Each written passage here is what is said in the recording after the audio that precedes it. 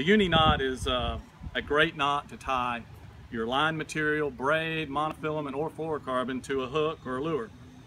And I'm going to show you, I'm going to use this rope to demonstrate how you tie the knot. You simply pass the tag in through the eyelet, form a loop, use plenty of lines so you have enough length, form a loop like this, and then just pass the tag in through that loop and around your line go four or five times with fluorocarbon or monofilament or braid.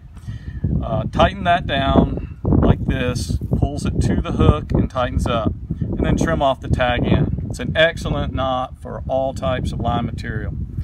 The double uni knot is actually the same knot, and this is designed to tie two pieces of line material together. Again, any kind of line material, this knot will work. Um, sometimes you want to avoid having a swivel on your line. You want to tie your monofilament directly or your braid directly to your fluorocarbon. This is the knot to use. It's very simple.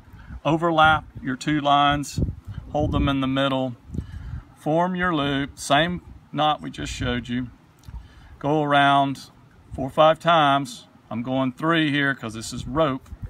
Snug your knot down, your first knot down, and then on the other side, do the exact same thing. Once you've got the two knots there, you can take your two main lines and pull them and the knots will come together and form a bond there, which is an excellent knot.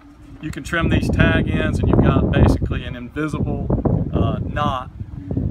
Avoids the swivel and is a, a great no-slip knot for putting two pieces of material together.